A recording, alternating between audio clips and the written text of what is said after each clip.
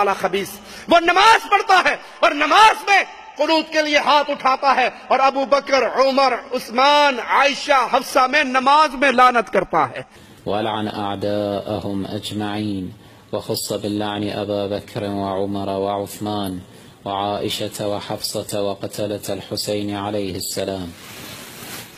इन्ना लिल्लाहि व इन्ना इलैहि राजिऊन इस गणित को दिखाने के दो मकसद हैं ए हक की तलाश करने वाले, ए हकीकत को ढूँढने वाले, कभी नमाज़ के अंदर मोहम्मद के ससुरों को गाली दी जाए। अबू बकर सिद्दीक मेरे नबी के सुसर नहीं है। फारूक आज़म मेरे नबी के सुसर नहीं है। क्या सुसर का मकाम बाप वाला नहीं होता? क्या उस्मान मेरे नबी सल्लल्लाहु अलैहि वसल्लम के दामाद नहीं है? क्या आयशा और हफ्सा मेरे नबी की जोजा नहीं है? नमाज़ में उनको गाली।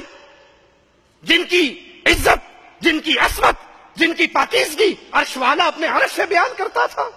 उनको गाली देते हो, नबी के साथियों को गाली देते हो, और इसको अल्लाह की कुर्बत का ज़रिया समझते हो। और दूसरा सवाल, ए अहल तोहीद तुमसे है। ए मेरी सुन्नी कौम, ये क्लिप दिखा के मैं तुम्हें जगा रहा हूँ कि आज कुफर इस हद तक बढ़ चुका है।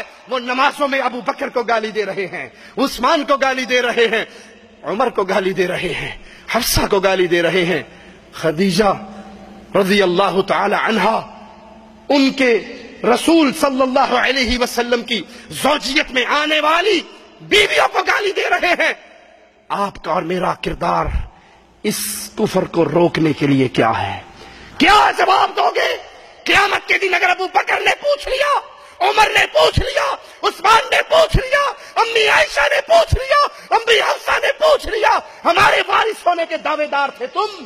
हमसे मोहब्बत के दावेदार थे। तुम कहा करते थे, सहाबा के वारिस धरती पे अहले सुन्नत है, आरुल हदीस है। जब लोग नमाजों में हमें गालियाँ दे रहे थे, तुमने क्या किया था? तुमने मेरे नबी की बीवियों की इज़्ज़त को बुलंद करने के लिए क्या किया? अरे, उनकी इज़्ज़त को तो रब ने बुलंद कर दिया। लेकिन दुश्मनों का मुँह बंद करके खुद अपने आप को तो जहन्नम से बचा लो। आज ये कैफियत है, मेरे नबी के सहाबा पे लान तान होती है। यही खासर खबीस सैयद आयशा की वफात पे जश्न मनाते हुए केक काटता है, उस केक पे लिखता है आयशा फिन्नार।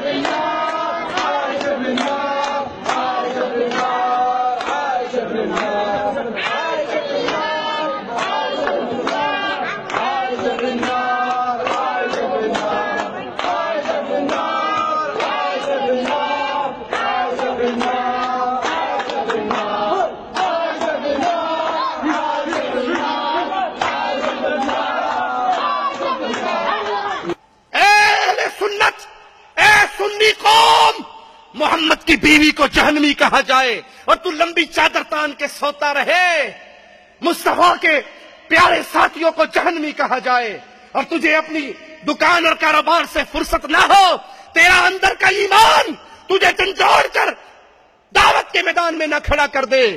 तेरी गैरत का क्या फ़ायदा? तेरे ईमान का क्या फ़ायदा? तेरे माल का क्या फ़ायदा अगर ये माल अम्मी आयशा की इज़्ज़त के दिफा पे खर्च ना हुआ?